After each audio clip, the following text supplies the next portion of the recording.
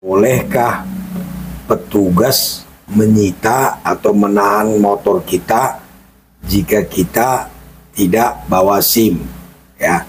Jadi kita akan membahas tentang apa yang bisa disita atau ditahan oleh polisi atau dishub ketika kita melanggar lalu lintas. Jadi yang disita atau yang ditahan itu tidak sembarangan teman-teman. Ada aturannya.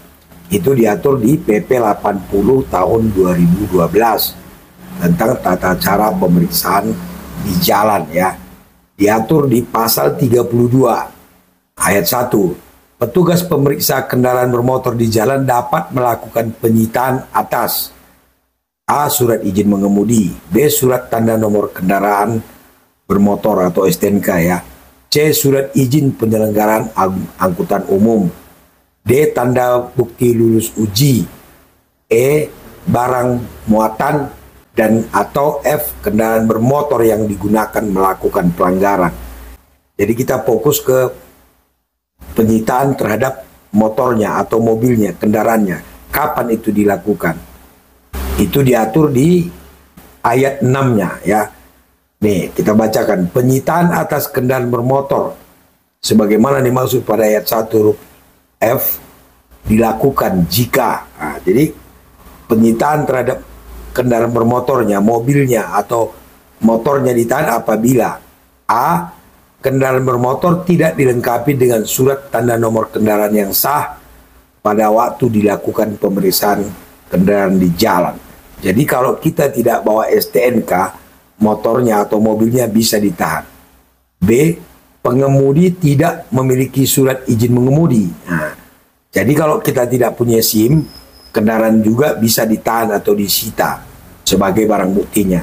C terjadi pelanggaran atas persyaratan teknis dan persyaratan laik jalan kendaraan bermotor. Nah, kalau kita pelanggarannya tentang persyaratan teknis dan laik jalan, misalnya mobilnya dirubah-rubah gitu ya, bentuknya dirubah-rubah atau motornya dirubah-rubah, itu bisa ditahan atau disita motornya sebagai barang bukti.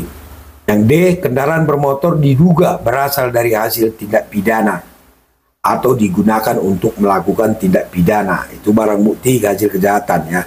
Yang C, kendaraan bermotor terlibat kecelakaan lalu lintas yang mengakibatkan meninggal orang atau luka berat. Nah, jadi kalau terjadi kecelakaan lalu lintas yang menyebabkan luka berat atau meninggal, maka kendaraannya bisa ditahan. Tapi kalau luka ringan tidak disebut di sini ya. Nah, kalau begitu kapan SIM bisa ditahan? Nah, untuk SIM bisa ditahan itu itu diatur di ayat 2-nya. Penyitaan atas surat izin mengemudi sebagaimana dimaksud pada ayat 1 A dilakukan atas setiap terjadi pelanggaran lalu lintas dan angkutan jalan. Jadi kalau untuk menyita SIM atau menahan SIM ini pelanggaran apa pun boleh dilakukan untuk menahan SIM-nya sebagai alat bukti. Lalu kapan ditahan STNK misalnya? Di STNK di ayat 3-nya penyitaan atas surat tanda nomor kendaraan bermotor dilakukan jika pengemudi kendaraan bermotor tidak membawa surat izin mengemudi. Jadi STNK itu bisa ditahan apabila kita tidak punya SIM. Nah, kira-kira itu dia. Yang biasa ditahan kan SIM, STNK atau mobilnya ya. Nah, kita sudah tahu kapan bisa ditahan motor atau mobilnya, kapan bisa ditahan SIM, kapan bisa ditahan SNK. Intinya kalau untuk SIM, setiap pelanggaran apa pun bisa ditahan SIM-nya ya. Namun kalau untuk STNK disita apabila tidak punya SIM. Paham ya? Dan untuk kendaraan bermotor yang bisa ditahan kita sudah bahas tadi. Itu dia. Mudah-mudahan menambah wawasan kita. Terima kasih. Tetap bersama Bang Beni membahas hukum dengan bahasa sederhana. Elang mau, pelopor anti kesewenang-wenangan.